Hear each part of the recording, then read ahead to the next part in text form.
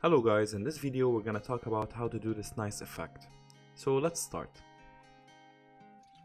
So here I have internet, which is a text. I use the characters Bergen Sans font. So this font is gonna be a link in the description below, you can download it anytime. So after that, make sure you go to window, align, and align it vertically in the middle and horizontally in the middle. Okay, after it's aligned, right click on it and right click on it create outlines and then go to object path offset path and put on 10 meter and 4 press ok. And after that without clicking anywhere it's already clicked on the one in the back. So if you click here it will select both. So let's go back and do it again. Object path offset path and press ok. It's already selected the one in the back. So just go and color it white and then right click arrange, send to back. And then let's do the same process again. Go to object, path, offset path, okay, and then color it black. And now right click on it, arrange, send to back. Okay, after you arrange send to back, do the same process again without deselecting. Go to object, path, offset path, okay, and now color it white. And right click, arrange, send to back. And now again, path, offset path, okay.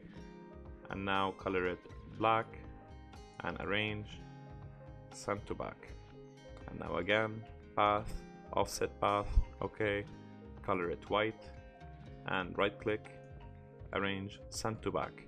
And now we have to do the same until we fill up the whole page. So I'm gonna do the rest so fast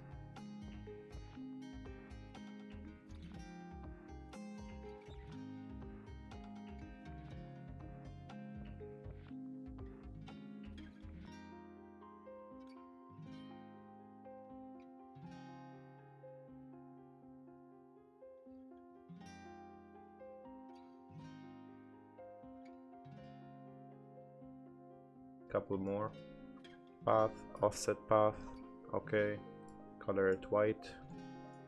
Arrange send to back. And I think this is the last one. Okay color it black and send to back. And I think that's it. So we will have this nice looking effect. So what we need to do is let's create a rectangle which is as big as the artboard.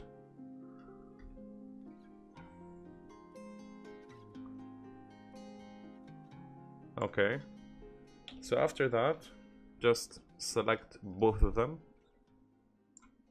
and right click, make clipping mask, and you will have this nice looking effect. And we're done.